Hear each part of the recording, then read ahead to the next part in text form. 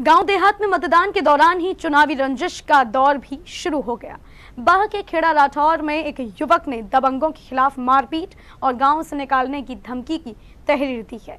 इस युवक का आरोप है कि गाँव जाति विशेष के लोगों का है। वह लोग अपने समर्थक प्रत्याशी को वोट चाहते थे, इसीलिए उनके साथ मारपीट की गई। गाँव देहात में पुलिस की चुनौती मतदान के दौरान से ही शुरू हो गई। वहाँ के गौसिली गाँव में एक युवक ने जाति विशेष के कहने पर उनके समर्थक प्रत्याशी को वोट नहीं दिया। तो इन दबंगों ने मतदान करने वाले युवक को मतदान केंद्र के बाहर ही पीट दिया।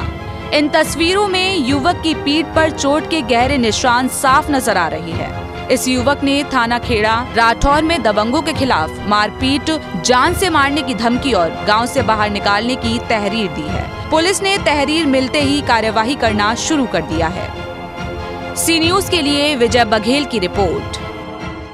आगरा के सर्वाधिक लोकप्रिय चैनल सी न्यूज़ के यूट्यूब चैनल को सब्सक्राइब करें और हाँ बेलाइकन को प्रेस करना ना भूलें।